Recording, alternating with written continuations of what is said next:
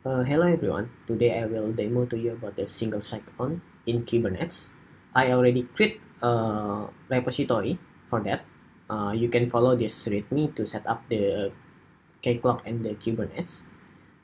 First, you need a DigitalOcean account and you need a domain, basically public domain for the Keycloak service.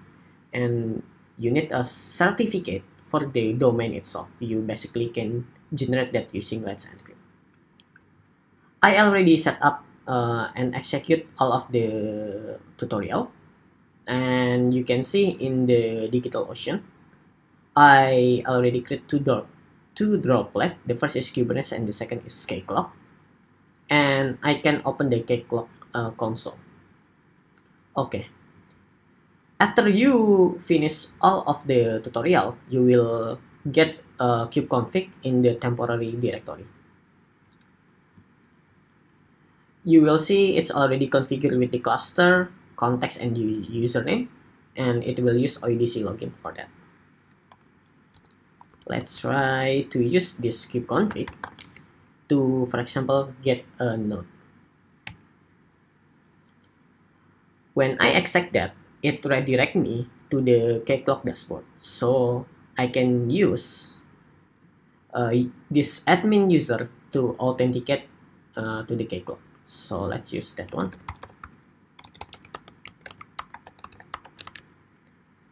I try to log in. And if the login is success uh, it will uh, give me OK return. And the Keycloak will return a JWT token to the kubectl. And that kubectl will use the JWT token to authenticate that to the Kubernetes API server and I can get another for example pod okay. So I uh, I already login with the admin user. It is the Keycloak database user. I want to use a Google user.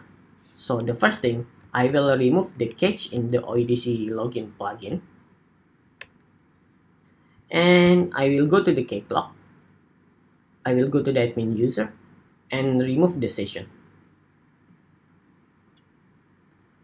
So I already create a user for the Google, me at zufardhiyaulhaq.com.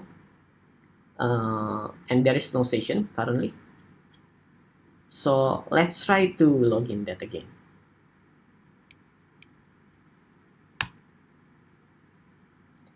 It will redirect me again to this login. I will not using the username or email, but I will use a Google so it will uh, use uh, basically redirect me to the Google login. I will use my me at zufardhiyaulhaq.com and the login is success.